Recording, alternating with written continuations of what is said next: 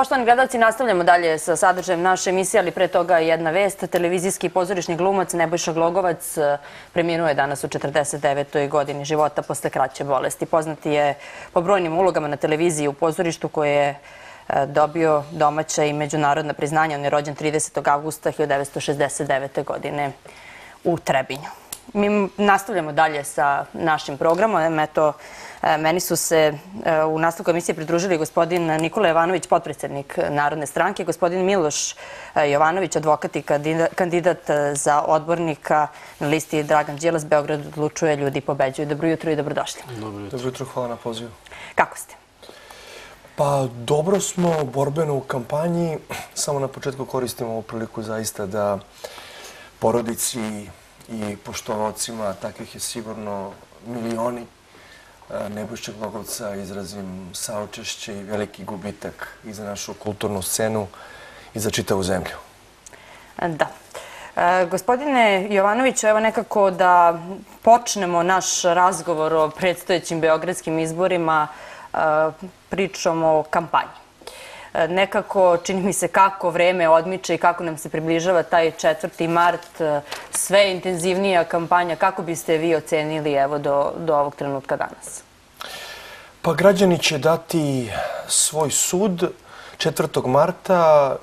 Ja mislim da naša lista zaista naporno radi, da imamo konkretan program, da imamo rešenje za svako vitalno pitanje koje muči naše građane i trudimo se zaista da govorimo o stvarima koje ćemo uraditi, potkrepljeno sa onim što je naš kandidat za gradonačelnika Dragan Đilas već uradio. Tako da mislim da time imamo neki kredibilitet, govorimo o brojkama, govorimo o konkretnim stvarima, ne napadamo kolege iz opozicije, što nije slučaj um, vice versa, ali obraćamo se direktno biračima, zbog njih sve ovo radimo i naravno kritikujemo vlast koja je preko četiri godine u Beogradu e, odlučivala o svemu, a na način da Beograđani lošije žive, da je Beograd neuređeniji, prljaviji grad u kome je više korupcije, više haosa i to zapravo kritikujemo u našoj kampanji. Kolege iz opozicije nas, nas ne zanimaju.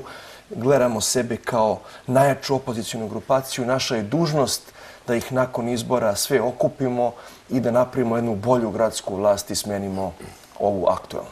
Hoćete li uspeti u tome, gospodine Jovanović, mislim na, na okupljanje e, opozicije nakon izbora? Pa mislim da, da hoćemo, Tamara, zato što e, građani i mi svi znamo brojke. Uh mhm. -huh. Prosto od 2014. godine podrška Srpskoj naprednoj stranci i njihovom koalicijonom partneru SPS-u iz godinu u godinu opada. I kad pogledate izbore na e, različitim nivoima, ali ono što se, oni građani koji glasaju za SNS i SPS, njih je otprilike svake godine 20.000 manje. Kako? Tako što građani vide rezultate i vide te njihove fatamorgane i Potemkinova sela. Tako da e, ja ne očekujem da u sve pritiske, e, prijavu lažnih prebivališta, ucene, e, razne druge mahinacije kojima se već uhodano služe. Ja ne očekujem da SPS i SNS mogu da imaju više od 350.000 glasova. Ako u Beogradu izađe 900.000 ljudi, 900.000 Beograđana i više, ja ne vidim matematiku kako oni mogu da ostanu na vlasti i nastave nepočinstva kao posljednje četiri godine. Tako da moja mhm. poruka građanima je E, mi koji nismo zadovoljni životom u Beogradu, mi koji mislimo da Beograd može biti mnogo pravedniji, sigurniji i bogatiji grad, smo u većini. Samo je bitno da ubedimo i sebe da je to važan datum, da odlučujemo o svom gradu i da ubedi svako svog komšiju i izađe čoveče. Govorimo o četiri godine života u Beogradu. Nije mala stvar. Ne moraš da glasaš za ovog, za onog, ali uzmi sudbinu u svoje ruke. Da, međutim, u medijima se mogu pročitati neka, tačnije mogu pronaći neka istraživanja koja govori, govore suprotno od onoga što ste, što ste vi sada rekli. Pazite, e, matematika je prosta. Nema istraživanja, uključujući one agencije koje rade godinama za SNS, koje govore da oni u apsolutnom zbiru i tu im dodajem SPS, uh -huh. koji ne znam zašto pristaje na ponižavanje, uh -huh da mogu imati više od 350.000. prosto e, to je matematički nemoguće. Tako da, e, ključna stvar je izlaznost. Oni možda daju SNS-u 40% ili više, ali na izlaznost od 700-740 hiljada. Ako izađe 900 hiljada i više, pa to sve pada u vodu. Oni matematički ne mogu da prinude toliki broj ljudi da glasa za njih. I oni koji su prinuđeni su nesrećni, nezadovoljni, svesni da glasaju za svoje dželate. I osipa im se biračko telo. Ljudi žele da se emancipuju, žele, žele da manje zavise od vlasti, mm -hmm. žele bolju budućnost za sebe i svoju decu. I oni gube, kažem, 20.000 glasova svake godine. I prosto e, ne mogu imati više, mogu imati daleko manje od opozicije. Ključne dve stvari, da li ćemo svi izaći da glasamo za neki bolji život i naravno da li će većina opozicionih lista preći cenzus, ja, ja cenim da hoće, zato ih i ne napadamo, ne uzrećamo na neke njihove napade. A, gospodine Ivanoviću, zašto, zašto ste se... E, ja se izvinjavam. Zašto ste se baš odlučili za, za ovu listu? Zašto ste se baš odlučili da pristupite Vidite, Narodnoj stranci, a tako dakle, vi ste gospodin Pavlović u Narodnoj stranci? Ja se iskreno nikada nisam bavio politikom. Međutim, situacija u kojoj se Republika Srbija danas nalazi, grad Beograd u kojem sam rođen, u kojem svi mi živimo, je takva da jednostavno je mene i mogu reći dosta mojih prijatelja, takođe advokata, a i ne samo advokata, primorala da se jednostavno preuzmemo sudbinu u svoje ruke, da pokušamo nešto da promenimo kako bi ovaj grad i ova država zaista delovali na jednu modernu evropsku državu, modern evropski grad. Vi danas imate veliku stopu nezaposlenosti. Beograd više nije bezbedan grad. E, znači, e, živimo u jednom, e, ja bi to nazvao Trumanovom show. Znači, to je jedna, real, jedna, jedna ovaj, lažna slika koja se nama predstavlja i kojom vladajuća stranka pokušava da nas ubedi u nešto što ne postoji. Znači, stvarnost je totalno drugačija od one koja se nama predstavlja. To rade kroz medije, to rade na različit način. Da li sto puta ponavljena laž može da postane istina i u današnje vreme? Naravno, naravno. Da. Nažalost je tako da, da imaju toliko medijskog prostora koji opozicija nezasluženo nema, da upravo tako laži mogu da se plasiraju iz dana u dan i u posljednje vreme je to sve intenzivnije. O tome smo malo, malo Naravno, govorili. Mnogi, mnogi ljudi, pogotovo u unutrašnjosti u centralnoj Srbiji, su po znacima navoda osuđeni da prate samo elektronske medije koji su de facto partijske televizije SNS-a. To mislim na Pink, Happy, naravno i javni servis je maksimalno zloupotrebljen predsjednik SNS-a govori da ne gostuje često tamo, ali o, njih, njegovim aktivnostima se svaki minut potroši 10 minuta dnevnika. Izvinite, svaki dan. Znači, dnevnik počinje i završava se sa njim. I onda on licemerno kaže nisam bio kao gost nakon dnevnika kod vas toliko često. Prvo, niko iz opozicije nije uopšte bio. A drugo, on okupira 10 minuta dnevnika svaki dan užasno licemerje i užasno pocenjivanje inteligencije građana Srbije. Tako da se mi trudimo i zato mislimo da je šansa u Beogradu da istina pobedi i da se pojavi alternativa. To što u Beogradu ipak veći broj ljudi ima e, pristup i internetu mm -hmm. i kablovskoj televiziji i koliko toliko može da se informiše realno o stvarima oko sebe. Tako da u tom smislu mi ističemo Beograđani se ovaj put bore za sebe, ali i za čitavu Srbiju. Da, imali ste protest ispred RTS-a, gospodine Tako je, nama, mhm. nama ljudi iz čitave Srbije govore preklinjemo vas, pobedite ih u Beogradu i onda će pasti kao kula od karata. Onda će i u mom gradu, u mom mestu, u mom selu, u mojoj mestnoj zajednici, svi ti batinaši, svi ti koji se bahate i vrše pritisak na nas, da se uplaše vrate u mišije rupe i moćemo da slobodno glasamo i da ih skinemo i u svojim mestima. E, pomenula sam protest ispred... E, kažete, gospodine Pavlović. Htio samo da kažem da nije samo u pitanju, nadovezao bi se, e, dakle, nije samo RTS. Vi imate i druge televizije sa nacionalnom frekvencijom koje su totalno u funkciji, znači krše zakon i totalno su u funkciji vladajuće stranke i jednog čoveka. Vi, e, ne samo, i ne samo te, e, ti mediji e, sa, sa nacionalnom frekvencijom, vi imate bezbroj medija, što štampani, što elektronskih, koji su pre tri ili četiri godine privatizovani, koji su totalno u funkciji vladajuće stranke i režima, kao što je, na primjer, Studio B.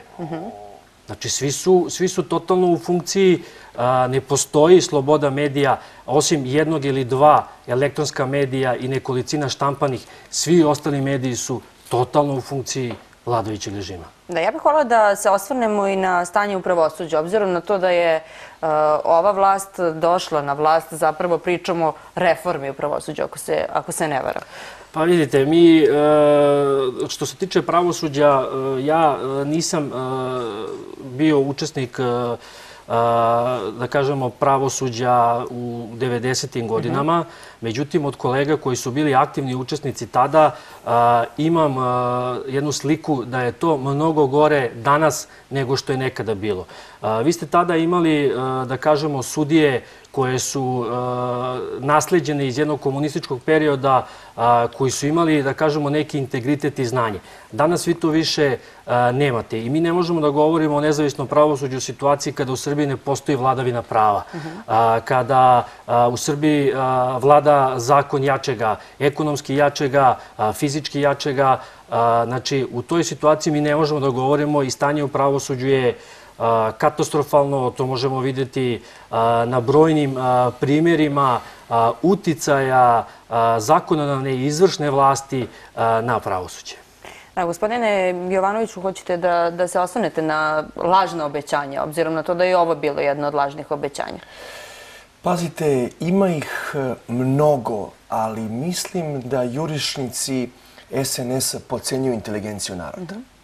Ne znam da li ste primetili, ali u posljednjih mjesec dana oni obilaze prigradska naselja i određene puteve ili parčiće puteva asfaltiraju. I to onda reklamiraju i na društvenim mrežama i preko svojih partijskih televizija, ali time ne shvataju da šalju najistinitiju iz njihove perspektive najgoru poruku građanima prigradskih naselja mhm oni im de facto govore mi se vas sećamo samo mesec dana pred izbore. Tako da građani naših prigradskih opština e, će vrlo lako izvući logiku iz te njihove kampanje. Čekaj, četiri godine nisi uveo kanalizaciju. Četiri godine nam nisi legalizovao objekte. Četiri godine nisi uradio ni jedan novi dom zdravlja ili školu. Četiri godine nisi asfaltirao i dolaziš mi mjesec dana pred izbore. Pa zar to nije najveća pouka da u slučaju njihove ne daj Bože pobede sljedeće četiri godine opet neće ništa raditi. Pa će doći kroz četiri godine i jedan mesec da opet u nekoj narodnoj kampanji se sete prigradskih naselja 30 dana pred izbore, a četiri godine pred toga ništa. Prosto nisu ni svesni kakvu antikampanju sebi rade, ali time pokazuju svoje pravo lice. A mi poručujemo, Tamara, građanima prigradskih naselja, da ćemo od prvog dana na vlasti raditi za njih nećemo dozvoliti, a to važi za centralnu Srbiju, da unutrašnjost ili da rubni delovi Beograda budu devastirani. Ovo je 21. vek. Da li je normalno na, da 10, 20, 25 km od Beograda nema dobre konekcije sa gradskim jezgrom? Da nema priključka ili cevi za kanalizaciju? Da nema škola, vrtića, obdaništa? Hoću da kažem, pre svega građanima e, naših prigradskih opština. Prvo, obećali smo da ćemo formirati nove gradske opštine tamo gde je zrelo. To su Batajnica, Kaluđerica i Dunavski venac sa leve strane Dunava. Obećavamo, garantujemo građanima prigradskih naselja, uvešćemo im svima kanalizaciju i radit ćemo to od prvog dana, a ne mjesec dana pred neke naredne izbore. Kanalizaciju, ovo je 21. vek, U Surčinu je već to rađeno. Postoji takozvani sistem plitkog ukopa, gde se jeftinije i lakše uvodi kanalizacija kroz takozvane klipne pumpe. Nije to nikakva nauka. I to se može Tamara uraditi u svim pregradskim naseljama gde nije izuzeto e, brdovito, brdovito zemljište. To je veliki broj naših gradskih opština. Govorio sam ranije, e, uvešćemo manja postrojenja za preradu otpadnih voda, gde Krnjača, Batajnica, Ostružnica, e, obećali smo našim građanima, pogotovo prigradskih naselja, šta njih najviše tišti, domove zdravlja, škole i obećanje svim građanima Beograda, Tamara, bit će besplatni vrtići za svu decu. To je mera koja košta 20 miliona evra. To nije mnogo, to nije mnogo za našu decu. A Jelka nam košta 83. Jelka košta, pazite, Skandal. samo, pazite, samo, samo raskidanje štetnog i pogrešnog ugovora o preradi otpada u Vinči sa strancima će doneti Beogradu 40 miliona evra godišnje. Samo novogodišnje osvetljenje u centru Beograda, više mesečno, nebulozno, besmisleno, je koštalo milion i po evra. Tako da para ima, a para će tek biti kad stavimo Beograd u ekonomsku funkciju. Kad on bude centar trgovine, e, kongresnog turizma, sve ono što planiramo, pričali smo, luka, berza, e, saobraćani čvorovi.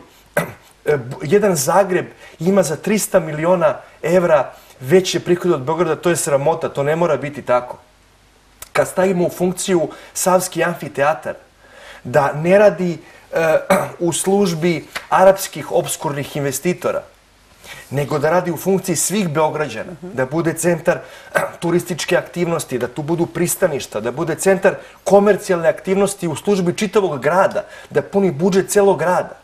Znači, para ima i tek se one mogu zaraditi sa malo pamet, pameti. I onda treba učiniti da naša prigradska naselja imaju standard života dostojan Evrope i dostojan Beograda kakvog želimo. Da, da li Beograd na vodi može da bude motor razvoja Beograda, kako, kako su to svojevremeno može. izjavljivali? Ne, ne, ne. To, Kakvog su ga oni to zamislili? je, Da, vidite, a, Beograd, na vodi a, je što ja sam baš razgovarao sa kolegom kako ja to vidim po meni, to je jedna privatizacija Beograda. Ja to tako vidim a, sadašnju vlast. Beograd na vodi je jedan od primjera te privatizacije. Tu se radi isključivo o privatnom projektu o donošenju velikog broja uredbi i zakona a, koje su a, prilagodili da taj privatni projekat se realizuje.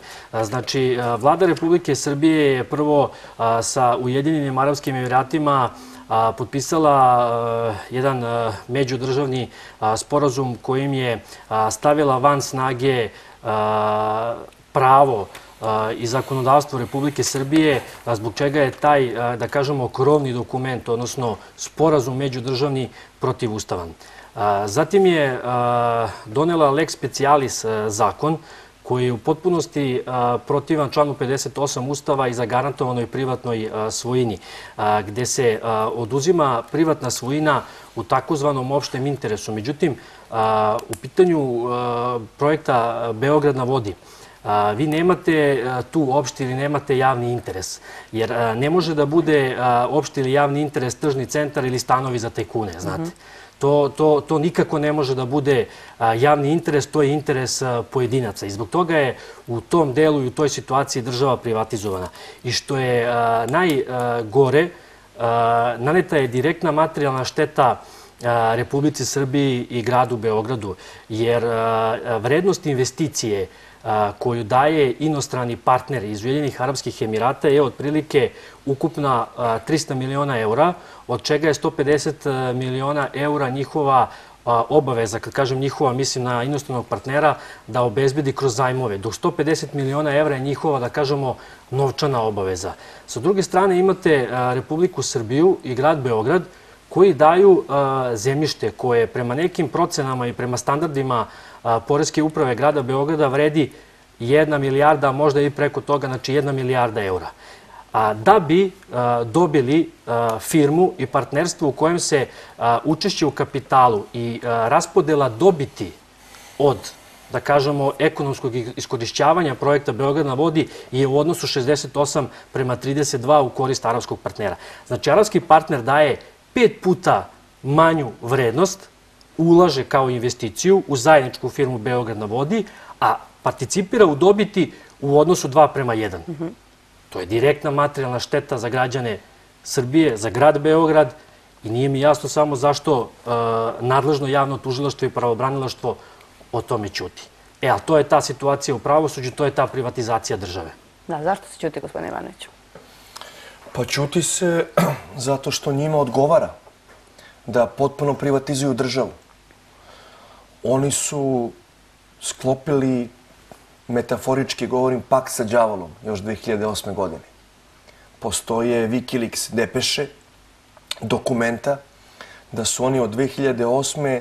slali poruke nekim međunarodnim faktorima, e, pomozite nam na bilo koje načine da dođemo na vlast i mi ćemo predati Kosovo i Metohiju. I oni su svesni da su po znacima navoda prodali dušu djavolu. A čovjek bez, bez duše gleda samo da se za svog ozemaljskog života ili ozemaljskog vladanja nakrade što više. I oni su bukvalno se odrekli svakog morala, svakog javnog interesa, jer su na premisi odricanja od suvereniteta svoje zemlje i došli na vlast. I oni su bukvalno kao u romanu Kamija Kuga. Gledaju samo kako da svaki dan izvuku što više substance, resursa i novca iz budžeta, iz grada, iz naše Srbije. Da, neko je ovo... Napravili su jedan koruptivni sistem koji bukvalno svaki dan porezke obveznike košta milione i milione evra. I to je suština njihove vladavine. Za njih ne postoji sutra. Za njih ne postoji obraz. Za njih ne postoji sud istorije. Oni žive za ovaj period kad su na vlasti i ne boje se ni Boga ni ljudi. Zato mi kažemo, sistem nije počeo od njih, ali oni su najgori izraz sistema koji nastruje već godinama, da ne kažem decenijama. I zato se Narodna stranka zalaže za lustraciju, za, čiš, za čišćenje pravosuđa od svih pritisaka i uticaja izvršne vlasti i kada se u normalne situacije, kada budemo mogli da slobodno biramo, slobodno govorimo, slobodno mislimo, e, raspisat ćemo izbore za ustavotvornu skupštinu, da donesemo ustav za Srbiju za 21. vek. I nećemo praviti pakt ni sa kim iz inostranstva, mm -hmm. nego ćemo ljubomorno čuvati domaće resurse, nacionalno bogatstvo, našu teritoriju i pre svega naše ljude. Oni se, Tamara, uopšte ne brinu o ljudima. Možete misliti, kad je njima glavni razvojni projekat promocija metroa, to je investicija, to nije šala. Sa time se ne šali. Ako nemate ozbiljnu studiju, eh, analizu frekvence saobraćaja, finansijsku konstrukciju, to može da bude katastrofa za grad. Pa već su se jednom našalili na tu temu. 2012. Oni se, oni, se, oni se danas, bojim se, ne šale. Oni zaista imaju nameru da počnu, kao što su počeli Beograd na vodi, pa ga neće nikad završiti, kao Skadar na Bojani. Ali oni hoće da grade metro. Pazite ovo. Gradonačelnik Siniša Mali je izjavio da se metro, da metro u Beogradu ne treba graditi tamo gde su gusto naseljeni ljudi. Pa ja njega pitam, a za koga gradiš metro ako ne za ljude? Ako se metro gradi tamo gde nema velike koncentracije ljudi, pa što ga ne gradiš na Divčibarama? Što ga gradiš u Beogradu? Ja sam išao sa našim kandidatom Draganom Đilasom da obiđem lokaciju gde po njihovom nacrtu počinje metro. I? Verujte, vozili smo se pet minuta sa leve i desne strane livada. Mi smo došli tamo. Jedini objekat je saobraćeni znak koji ukazuje na opasnost od toga da divljač prelazi put. Prosto to je neverovatno. Ja ne znam da li je e, u momentu smo mislili da se radi o skrivenoj kameri ili nekom testu inteligencije. Oni hoće da grade metro na livadi. I što je najgore, e, ako gledamo prema e, jugu, sa desne strane te livade su vodoizvorišta. Je izvor pijaće vode za Beograd. Oni tamo hoće da grade metro koji ne služi ljudima, koji služi tome da valjda divljač prevozi u Adu Huju. Ne razumijem čak ni tu logiku, pošto je zološki vrt na Kalemegdanu. I pritom rizikuju da zagade vodu za sve Beograđane.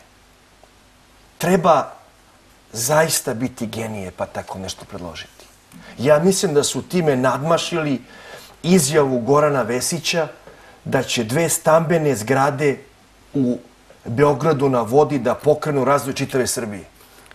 Ja sam to pričao nekim mojim prijateljima iz inostranstva i meni su rekli, jel vi imate neki test za ljude koji se kandiduju za javne funkcije? Jel imate neku evaluaciju stručnu? Da dve stambene zgrade pokreću razvoj grada. Verujte, to, to nisam čitao ni u Alanu Fordu. Htjeli ste se navesti? Nisu, nisu oni u stanju, mislim da je to uh, samo jedna u nizu uh, neistina koja se iznosi od strane uh, vladajuće garniture u gradu Beogradu. Znači oni nisu u stanju uh, da naprave metro za grad Beograd taj projekat da sprovedu do kraja. To najbolje možete vidjeti u periodu od oktobra, odnosno, pardon, septembar 2017. do, do, do novembra 2017. kada je ceo Beograd bio blokiran, kada su tri vitalne saobraćajnice prevrtan asfalt. To su njihovi kapitalni projekti. Oni za sebe nisu ostavili ništa. Znači, vi sad kad pogledate, nisu ostavili domove zdravlja, nisu ostavili bolnice, nisu ostavili škole, vrtiće, prevrnuli su samo asfalt, nisu ostavili ništa. I sada da neko poveruje Beograđani u tu priču da oni mogu da naprave metro, to je zaista... Pazite, što najgore, oni će nešto početi da bi mogli da kažu kao za Beograd na vodi Skadar na Bojani. Pazite, predsjednik SNS-a je rekao da će do marta 2017. sve biti gotovo. E, uključujući, kako on kaže, pazite, novi simbol Beograda, arapski shopping mall. Ja ne znam e, kako neko u gradu despota Stefana Lazarevića, Meštrovića, e, velikana, može da kaže da će arapski shopping mall da bude simbol Beograda. Ali pazite, on to kaže, bit će sve gotovo, uključujući taj simbol Beograda, do marta 2017. Onda ode 2017 i e, tamo postoje samo dve e, odvratne zgrade nezavršene i u kameru studija B kaže radovi idu ispred rokova. Pazite to licemeri. To je prosto neverovatno. Ja, ja, Može je to problem s matematikom?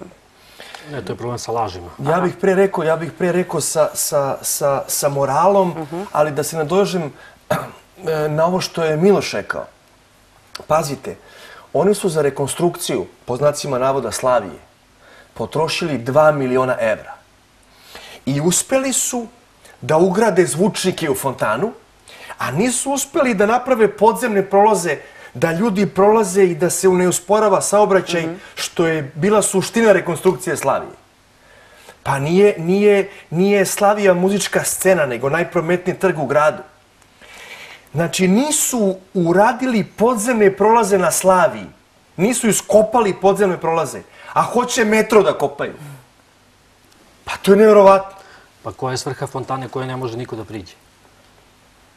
Ne znam, da pitamo Vesića i Ne Malog. možemo da se slikamo osim Možda ako nećete da vas udari. Naravno. tramvaj ili trolebus. Znači ne možete da se slikate, ne možete goste da dovedete da pokažete. A pazite ne ko- možete ništa, možete da slikate gore iz Beogradske eventualno. A pazite koliko oni cene Beograđane, koliko ih poštuju.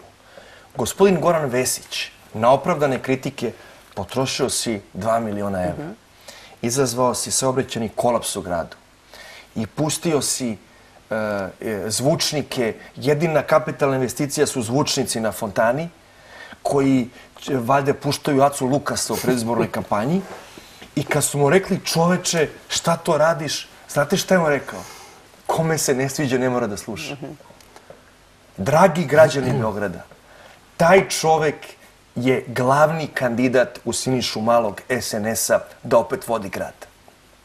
Nemojte na takva poniženja pristajati.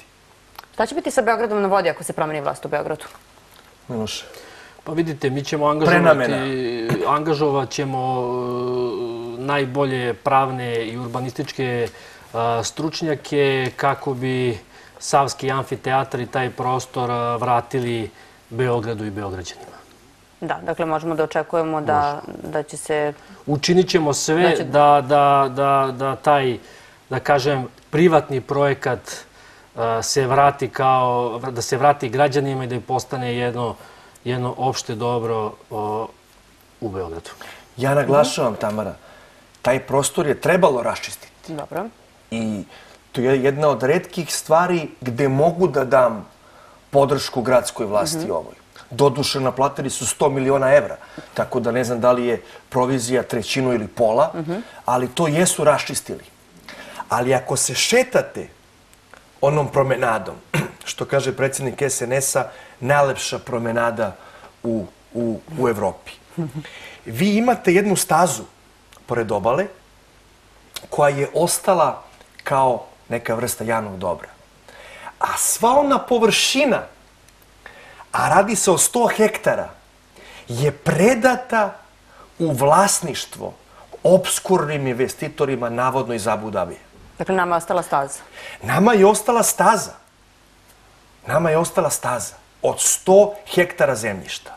I ovo što je rekao Miloš, mi hoćemo da iskoristimo to zemljište, da revidiramo taj pravni okvir, da raspišemo međunarodni javni konkurs, ali da to ostane javno dobro koje pravi pare za sve građane Beograda i koje puni gradsku kasu, a ne kasu nekih obskurnih investitora. Saznaćemo kad dođemo na vlast ko su ti ljudi. Da li su to zaista ljudi iz Abu Dabija ili možda neki lokalni tajkuni. Znate šta, e, projekat Beograd na vodi sam po sebi e, je opšte opasna stvar, jer e, u pitanju je e, e, pravno i fizičko raščićavanje terena. Znači, privatna svojina je na samom mestu projekta Beograd na vodi ugrožena od strane onih koji su ekonomski jači. A, proglašen je a, tržni centar, a stanovi za tajkune su proglašeni javnim interesom. Donet je poseban zakon Lex Specialis. To znači da danas ili sutra svako ko ima pare može da kaže raselite one, ja hoću tu da napravim tržni centar, a onda će vlast da kaže to je opšti interes i proglasit će opštim interesom i raselit će ljude. sam ko ima pare i To je- u- u to je sa jedna- SNS-om, To je jedna, sa dosluhu sa SNS-om, sa vladajućom strankom, su oni to napravili. To je jedna opšte opasna stvar. Znači, a, a, privatna imovina i privatna svojina su zagarantovane Ustavom Republike Srbije. Ovde je Ustav pogažen. Ovde, su, ovde je Ustav stavljen sa strane. Ovde je pravo ekonomski jačeg a, izdominiralo u odnosu na pravo i imovinu privatu pojedinaca. Privatna imovina su i penzije, zar ne? Pazite, jesu, ali ajmo, ajmo, ajmo samo da kažemo suštinu. Dobro. E, kažem, Tamara, oni su privatizovali e, 100 hektara.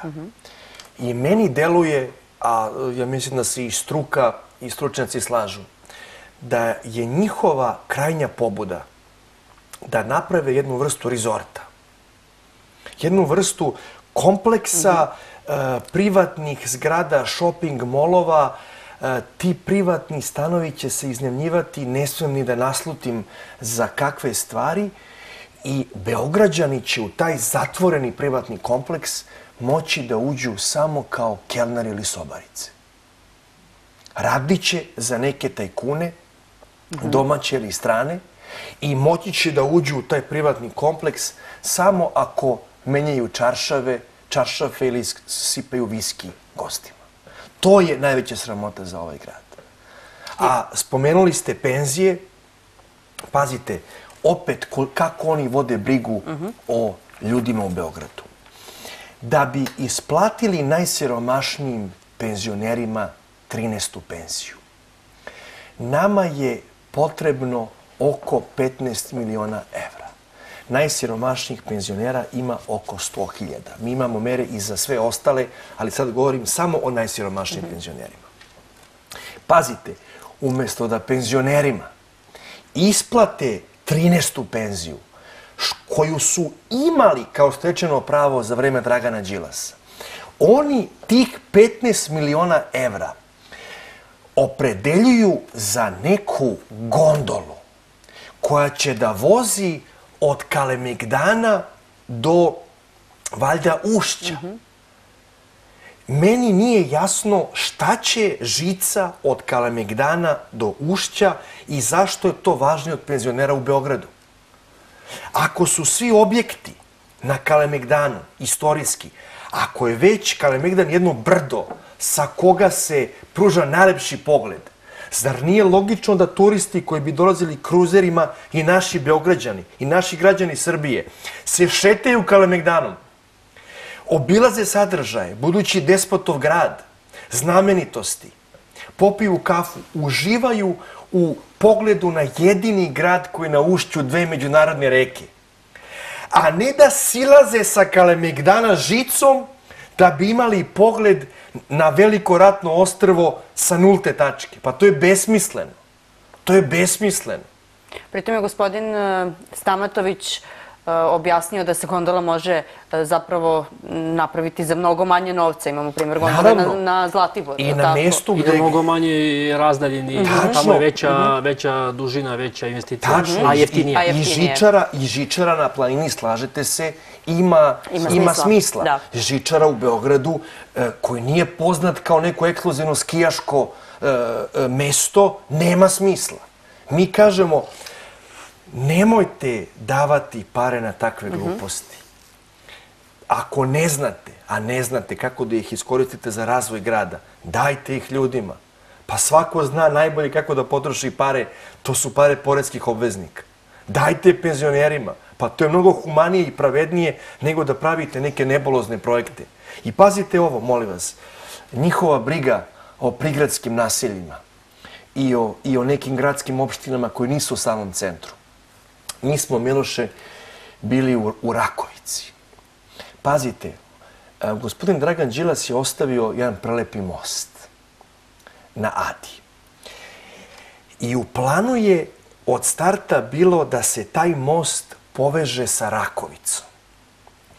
I da jedan bulevar spaja Ada most i Rakovicu.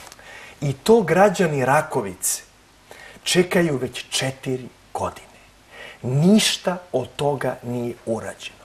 I mi smo obišli štandove na mhm. Rakovici. I ja kažem, ljudi, čovjek je ostavio most. Ovi vam nisu uradili pristupnu saobraćajnicu. Jedna starija gospođa, dobronamerna, mi kaže, sine, ali oni najavljuju sada da će da naprave to. Ne kažem, gospođo, ako nisu za četiri godine uradili, neće nikada. A ako mi ne verujete, pitajte radnike IMR-a, Industrije motora mm -hmm. Rakovica, kojima je predsjednik SNS-a i gradski čelnici obećavali restrukturiranje mm -hmm. fabrike i procvat fabrike. Šta se dogodilo? Ona je otišla u stečaj prošle godine. Rakovica je devastirana. Mm -hmm. Ništa više ne radi. A bila je radničko, industrijsko naselje gradska opština. E, ako mi dozvolite, u, u 30 sekundi bili smo u Obrenovcu. Pazite, predsjednik opštine Obrenovca, gospodin Čučković, taman neko može da zaboravi, mada ja ne, ne, ne bih to nikad zaboravio, kako je katastrofalno upravljao poplavama 2014. godine. Tragedija. I taman zaboravite ko je taj čovjek. Kada se otkrije 60 tona opasnog mm -hmm. otpada. nije građanima svoje opštine rekao sastav otpada. Nije izvestio građane o stepenu zagađenosti zemljišta i vode. Nije dopremio cisterne sa e, čistom vodom ugroženima. Nije naredio Gradskom zavodu za javno zdravlje da dnevno saopštava o stanju vazduha u Obrenovcu koji je zbog tenta A decenijama ugrožen. I takav čovek hoće da ponovo vodi Obrenovac, e, sad je naravno u dresu, u dresu SNS. Da. Gospodin Pavlović, htjeli ste Pa, se nadovežete samo vezano trenutku? za ovu gondolu, da ova sadašnja vlast nije uspela ni problem saobraćaja u Beogradu da reši, da kažemo, jedno od e, problema gorućih, a koje i nije toliko zahtevno. Vama treba od e, tačke A do tačke B, od Ustaničke do Zemuna, treba vam dva sata.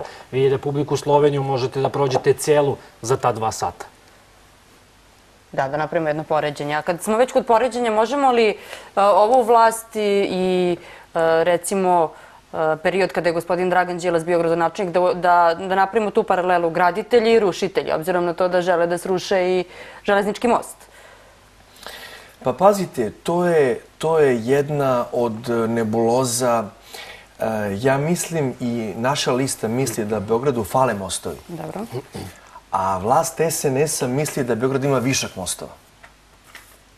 I misle da je Beograđanima previše jedan most i da je um, podstrek za razvoj grada da sruše jedan most.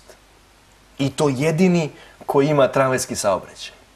A pazite ovo.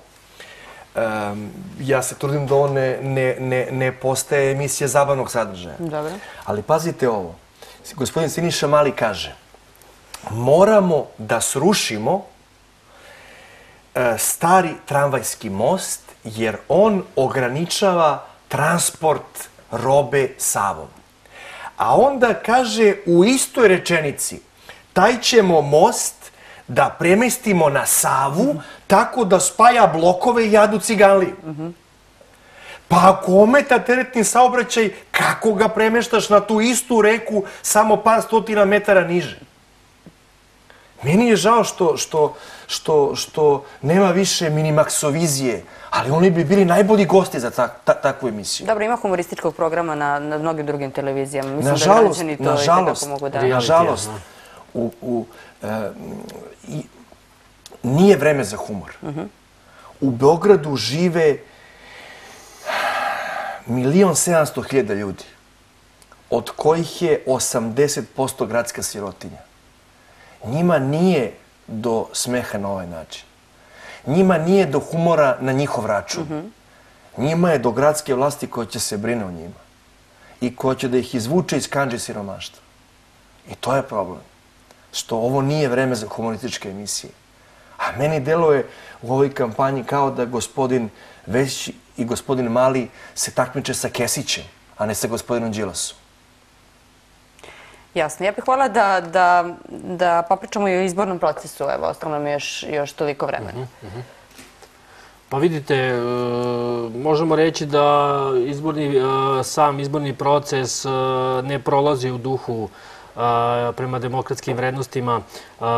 Imate od samog starta medije koje su totalno zatvoreni.